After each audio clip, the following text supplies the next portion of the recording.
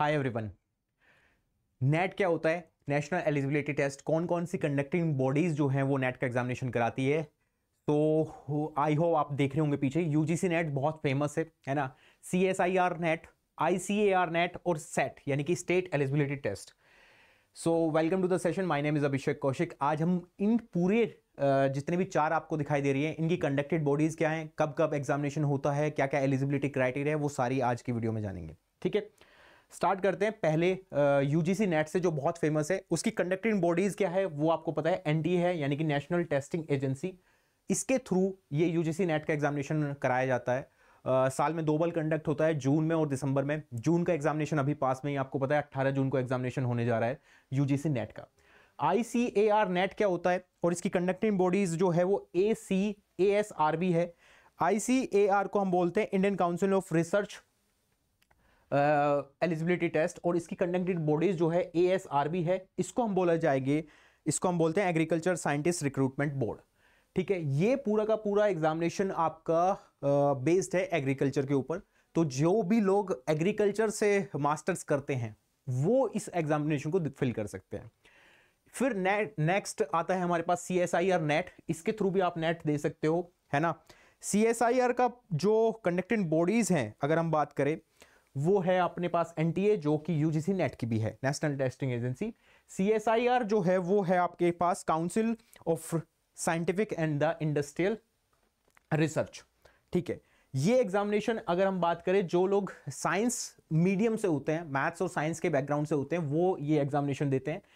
फिर है next SET state eligibility test जिसको जो कंडक्ट करती है, वो करती है स्टेट अकेडमिक अथॉरिटी जो भी स्टेट के अकॉर्डिंग होगा, हर एक स्टेट की अलग अलग अथॉरिटी होती है कंडक्टिंग बॉडीज होती हैं, वो वो एग्जामिनेशन कंडक्ट करती हैं। अगर हम बात करें स्ट्रीम की, जो मैं अभी आपसे बता भी रहा था, है ना तो जो स्ट्रीम है आपकी, अगर हम बात करें, हर एक की स्ट्रीम भी अलग अलग होगी ऑब्वियस है है ना, जो सोशल साइंसेज और लैंग्वेजेस वाले पेपर है, उसमें यूजीसी नेट का पेपर होता है ह्यूमैनिटीज के जितने सब्जेक्ट्स होते हैं, वो आपका यूजीसी नेट में होगा। आईसीआर में आपका पूरा का पूरा एग्रीकल्चर बेस्ड रहता है। तो जिन्होंने भी मास्टर्स में एग्रीकल्चर किया हुआ है, वो आईसीएआर को दे सकते हैं।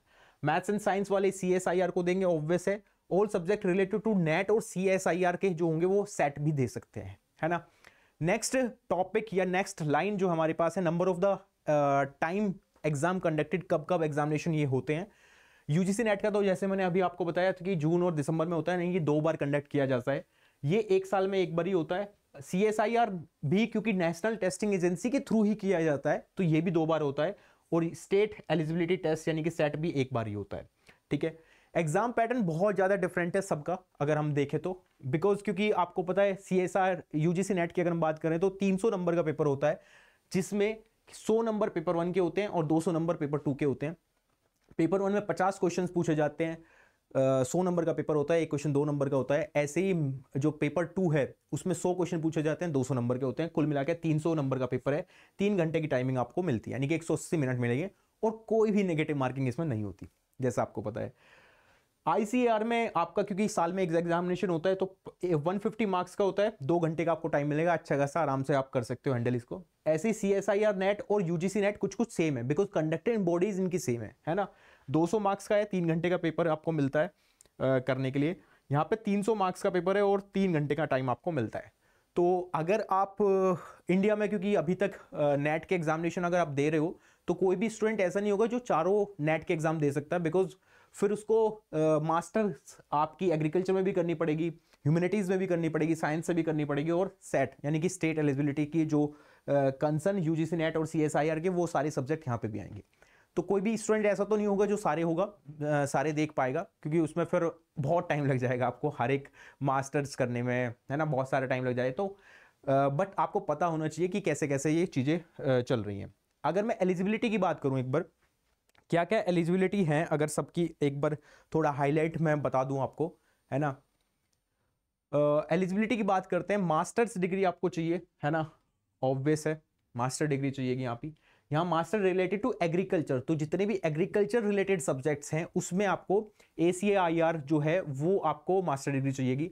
Master degree relevant subject C S I R की, है ना? क्योंकि वहाँ पे भी तीन चार ऑप्शन आपके खुल जाते हैं जो मैथ्स एंड साइंस से जिन्होंने मास्टर्स किया हुआ है, वो सी एस आई आर का दे सकते हैं, ठीक है?